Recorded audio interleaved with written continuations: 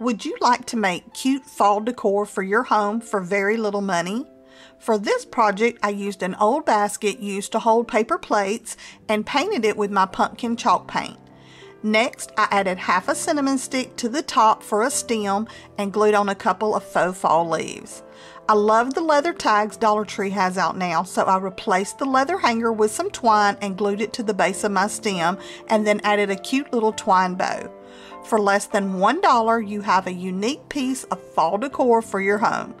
If you would like to see more inexpensive, simple fall DIYs, visit us on our channel, Crafting Cousins. Let's craft, y'all!